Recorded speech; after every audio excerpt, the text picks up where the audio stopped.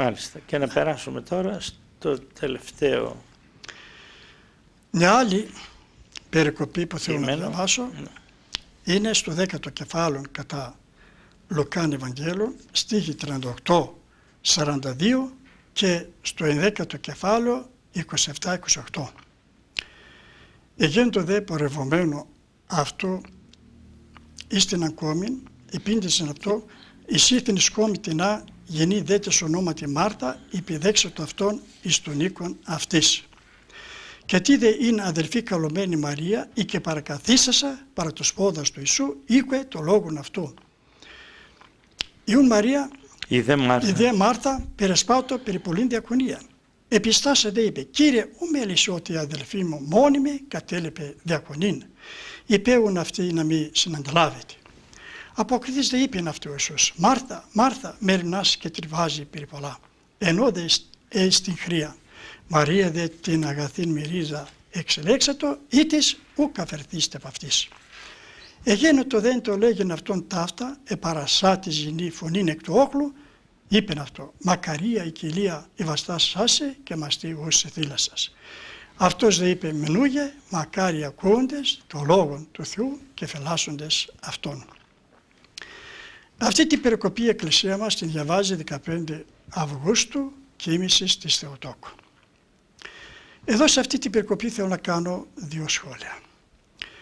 Το πρώτο που θέλω να πω είναι ότι ο Ευαγγελιστής εδώ στην περικοπή αναφέρει τέσσερις γυναίκες. Οι δύο πρώτες γυναίκες που αναφέρει είναι οι αδελφές του Λαζάρου που είχε πεθάνει και τον ανέστησε ο Χριστός, Μάρτα και Μαρία. Εν τω μεταξύ η Μάρτα υπεδέξατο το Χριστό στο σπίτι, τον δέχεται να, να φάει μαζί του. Τον ακολούθησαν οι μαθητές του και πολύ λαός. Η αδελφή της Μαρία καθόταν με τους άλλους που άκουγαν το λόγο του Χριστού. Η Μάρτα προσπαθούσε να κάνει φαγετά για να φάει ο Χριστός. Σε μια στιγμή θα κουράστηκε η Μάρτα και ήρθε μπροστά στο Χριστό και του είπε «Κύριε, δεν σε μέλει, δεν σε ενδιαφέρει καθόλου ότι η αδελφή μου με άφησε μόνη μου για να ετοιμάσω το τραπέζι. Πες της να έρθει και αυτή εδώ για να με υπηρετήσει. Ο Χριστός όμως της είπε «Μάρτα, Μάρτα, αγωνιάς και μερμνάς για πολλά πράγματα. Ένα όμως είναι χρήσιμο. Η αδελφή σου Μαρία διάρρηξε την καλύτερη μερίδα που δεν θα αφαιρεθεί από αυτής, ότι ακούει το Λόγο του Θεού. Και στη συνέχεια ο Ευαγγελιστής γράφει για την τρίτη γυναίκα. Δεν αναφέρει όμως το όνομά της. Αυτή η γυναίκα ήταν από αυτούς που άκουγαν το Λόγο του Χριστού. Και η τρίτη γυναίκα μιλάει για την τέταρτη γυναίκα, για την Παναγία, τη μητέρα του Κυρίου και τη μακαρίζει και λέγει στο Χριστό «Μακαρία η κοιλιά που σε βάσταξε και μαστή που εθύλασας». Ο Χριστός όμως της είπε «Ναι, η μητέρα μου είναι μακαρία, αλλά μακάρι και ευτυχής είναι αυτοί που ακούν το Λόγο του Θεού και τον τηρούν». Το δεύτερο σχόλιο που θέλω να κάνω είναι ότι ο Χριστός μας διδάσκει να μελετήσουμε την Αγία Γραφή και να την τηρήσουμε. Στο έκτο βιβλίο της Παλιάς Εθήκης, Ιησού του Ναβί, πρώτο κεφάλαιο, οχτώ στίχο λέει «Ούκ αποστήσετε βίβολος το νόμο τούτου εκ του στοματός σου και μελετήσιν αυτό ημέρας και νυχτός είναι η δις πάντα τα γεγραμμένα» που σημαίνει δεν θα απομακρυνθεί το βιβλίο του νόμου τούτου από το στόμα σου. Αλλά θα μελετάς μέρα και νύχτα για να γνωρίσεις, να πράξεις όλα που είναι γραμμένα. Έτσι, ο Θεός, ο Χριστός μας διδάσκει να μελετήσουμε και να τηρήσουμε την Αγία Γραφή. Πολλοί όμως άνθρωποι που πάνε στην Εκκλησία, Ορθόδοξοι, δεν διαβάζουν την Αγία Γραφή. Και αν θα τους πεις να διαβάζουν την Αγία Γραφή, λένε όλα που γράφει η Αγία Γραφή, ωραία και καλά. Αλλά δεν μπορούμε να τα τηρήσουμε, διότι είναι βαριές εντολές που μας λέγει ο Θεός. Ο Ευαγγελιστής Ιωάννης στην πρώτη του επιστολή 5 στίχο, ε, πέμπτο κεφάλαιο, τρία στίχο λέγει αυτή γαρεστήν η αγάπη του Θεού. Ή να τας εντολάς αυτού τηρώμεν και εντολέ αυτού βαριέου και συν. Να, η εντολέ του Θεού δεν είναι βαριές, είναι ελαφρές. Καθώς και ο ίδιος ο Χριστός στο 11ο κεφάλαιο κατά Μαθαίων 28-30 στίχους λέει «Δεύτε προς με πάντες οικοποιώντες και πεφορτισμένοι, καγώ αναπαύσει μας. Άρατε τον ζυγό με εμάς και μάθετε επί μου ότι πράωση μη και ταπεινώς στην καρδία και ευρίστε ανάπευση τες ψυχές ημών. Ο γάρ ζυγός μου ο Χριστός και το φορτίο μου ελαφρών εστίν. Έτσι βλέπουμε ότι δεν είναι η εντολές του Θεού βαριές. Είναι για το συμφέρον μας. Αν θα ήταν βαριές εντολές δεν θα μας τα έδωνε ο Θεός. Επομένως πρέπει να μελετήσουμε και να τηρήσουμε το Λόγο του Θεού όπως μας διδάσκει ο Χριστός. Μάλιστα. Εδώ βλέπουμε την προτεραιότητα που έχει η ακοή του Λόγου σε σχέση με μια ετοιμασία προκειμένου να ευχαριστήσουμε αγαπημένα μας πρόσωπα. Και είναι κυρίως ο γυναικείος πληθυσμός ο οποίος έχει αυτή τη διάθεση της προσφοράς και της θυσίας ακόμη προκειμένου να ευχαριστήσει με υλικές προσφορές.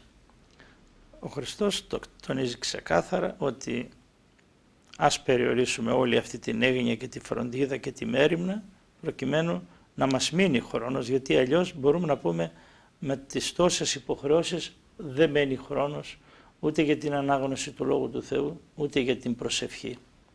Καθώς κατάκοπη το βράδυ φτάνουμε στην ώρα του ύπνου και τότε λέμε δεν μπορώ, κλείνουν τα βλέφαρά μου από την κούραση, πρέπει να κοιμηθώ αμέσως. Και, και το λέμε πολλές φορές το λέγοντας ότι θα βάλουμε αρχή αύριο, θα ξεκινήσουμε από αύριο. Ή αύριο θα κάνουμε διπλάσια προσπάθεια από ότι σήμερα για να αναπληρώσουμε το κενό. Και έρχεται το αύριο και είμαστε πάλι κουρασμένοι και αυτό συνεχίζεται μια ολόκληρη Μας ζωή. περάζει ο σατανάς να μην διαβάσουμε καθόλου. Ο Θεός του αιώνος τούτου ετύφλωσε τα νοήματα των απίστων εις το μία βγάση αυτής στο φωτισμό του Ευαγγελίου του Χριστού για να δονήσουν τη δόξα του Θεού. Μάλιστα. Έτσι, μας περάζει ο σατανάς. Άρα λοιπόν όλα αυτά είναι σημαντικά και οι πατέρες τονίζουν πολλές φορές ότι πρέπει να έχουμε ένα πρόγραμμα αυστηρό και να το τηρούμε καθημερινά χωρίς να υπάρχει μέρα στην οποία να δικαιολογηθούμε λέγοντας ότι ήταν τόση μεγάλη η κούραση της μέρας που πλέον δεν αντέχουμε να κάνουμε και τον κανόνα μας. Γιατί κανόνα δεν έχουν μόνο οι μοναχοί, κανόνα έχουν και οι λαϊκοί. Ο κανόνας αυτός αναφέρεται στο πόσο θα προσευχηθούμε, τι θα μελετήσουμε, πόσο θα μελετήσουμε. Όλα είναι δικαιολογίες όταν ασχολούμενοι με πλήστα όσα άλλα, στο τέλος κατακουρασμένοι λέμε τώρα πλέον δεν έχουμε άλλη αντοχή. Κάτι να προσθέσεις για να κλείσουμε αγαπητέ Γιάννη; Για να κλείσουμε ας έχουμε την πίστη του εκατοντάρχου που είπε στο Χριστό πιστεύω και έχω εμπιστοσύνη στα λόγια σου. Δεύτερον, ας μελετάμε καλά την Αγία Γραφή και να δούμε τι σημαίνουν τα χωρία, να μην τα παραμνεύουμε όπως μερικοί. Τρίτον, ας είμαστε κάθε στιγμή και κάθε ώρα έτοιμοι, διότι όπως λέει ο Χριστός, πολλοί που είναι τελευταίοι θα είναι πρώτοι και πρώτοι τελευταίοι. Γι' αυτό να είμαστε κάθε στιγμή και κάθε ώρα έτοιμοι.